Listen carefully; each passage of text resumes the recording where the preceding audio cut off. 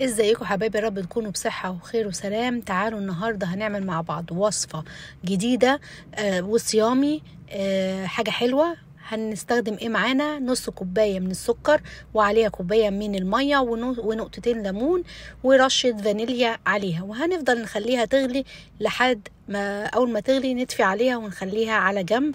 آه وده القطر اللي إحنا هنستخدمه للوصفة بتاعتنا. الوصفة بتاعتنا حاجة حلوة ومسكرة وهتكون صيامي آه، من A to Z.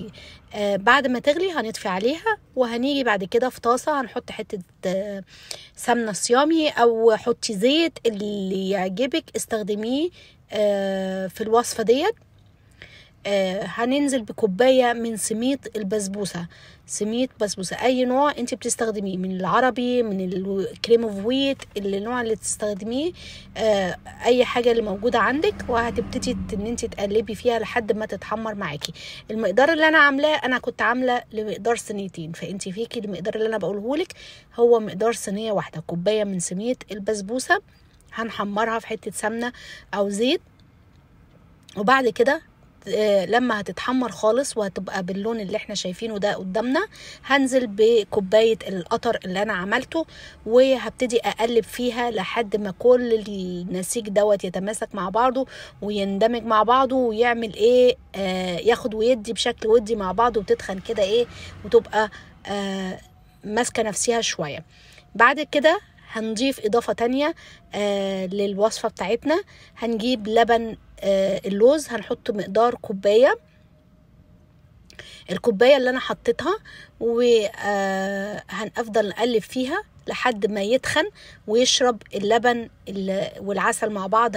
كل حاجة تن- تندمج كده مع بعضها. آه، وهيكون بالمنظر اللي إحنا شايفينه ده وفي الوقت دوت هنطفي عليها النار ونخليها على جنب. لما تبتدي تهدى نظبطها في الصينية ونعمل الكريمة بتاعتنا اللي إحنا هنعملها.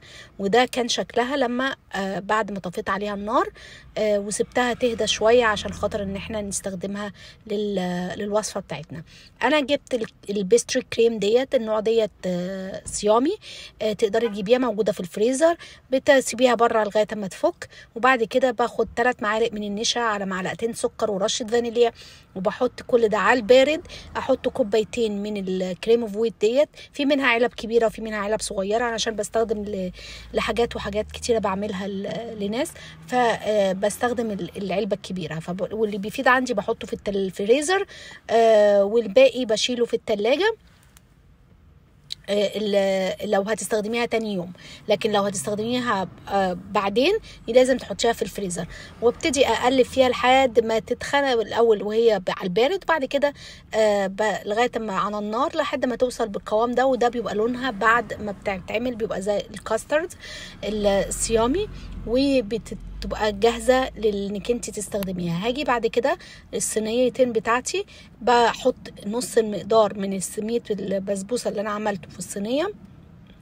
وبرصه في في قعر الصينية وانزل عليه بالكاسترد اللي أنا عملته وحطيته على وش الصينية بالمنظر دهوت وبعد كده أزوقه بأي نوع مكسرات فستق لوز بندق اللي يعجبك اللي أنت عايزة تحطيه حطيه. مش عايزة تحطي أي مكسرات مش بتحبي المكسرات ما تحطيش حاجة خالص. آه، ممكن تحطي شوية جوز الهند اللي, اللي, اللي أنت عايزاه. كل حاجة متوفرة اللي موجودة عندك اقدري تعمليها.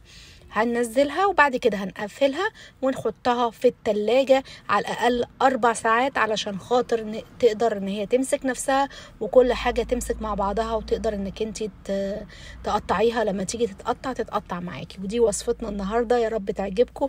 واللي أكل من الأكلة ديت يقول لنا رأيه فيها إيه وإحنا سميناها المربربة علشان خاطر آه، فعلا لو انت كلتيها واعتمدتيها عندك على طول هتبقي مربربة. فخدي بالك من الأكلة اللي انت هتاكليها.